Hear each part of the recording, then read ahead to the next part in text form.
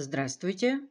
Многие не раз слышали наверняка, что ежедневно нужно проходить 10 тысяч шагов, чтобы чувствовать себя здоровыми и быть в форме. И многие пытаются подсчитывать, сколько они прошли за день с помощью умных часов, шагомеров, мобильных приложений в смартфонах. И многие очень радуются, когда цифра 10 тысяч шагов достигнута.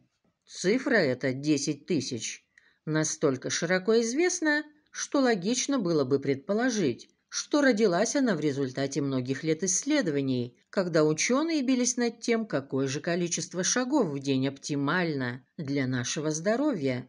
Может быть, это 8 тысяч шагов, 10 тысяч, а может быть 12 тысяч шагов. На самом деле никаких подробных исследований не проводилось.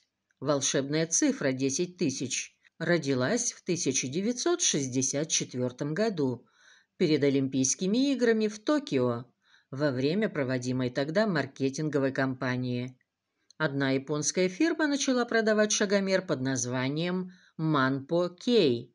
Ман означает 10 тысяч, По – это шаги, и Кей – это счетчик. Манпо Кей оказался очень популярным, и эта цифра 10 тысяч засела с тех пор у людей в голове. С тех пор были проведены исследования, в ходе которых сравнивались преимущества ежедневного прохождения 5000 и 10 тысяч шагов. Неудивительно победила более высокая цифра, однако до последнего времени не изучалась эффективность количества шагов в диапазоне между 5 и 10 тысячами. Даже сейчас это всесторонне на взрослых не проверено. Можно, конечно, предположить, что чем больше шагов проходишь в день, тем лучше. Для определенного диапазона шагов так оно и было, но только, как оказалось, до 7500 в день, после чего польза от шагов прекращала расти. Это согласно разным исследованиям.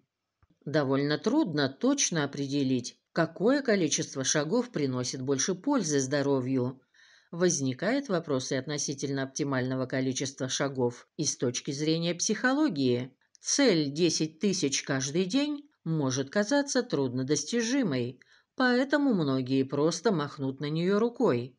Постоянно день за днем не дотягивая до этой цели, многие могут отчаяться. Чтобы вдохновить обычно малоподвижных людей на большое количество шагов, возможно, психологически правильнее использовать более низкие цели. Беда в том, что напряженное подсчитывание каждого шага лишает нас удовольствия от прогулок. Считать свои шаги, конечно же, можно, если чувствуете, что вас это мотивирует, но следует помнить, что в цифре 10 тысяч нет ничего магического. И лучше поставить себе такую цель, которая подходит лично для вас. Она может быть больше 10 тысяч шагов, а может быть и гораздо меньше. А многие, может быть, решат вообще выкинуть шагомер, и именно после этого почувствуют себя отлично.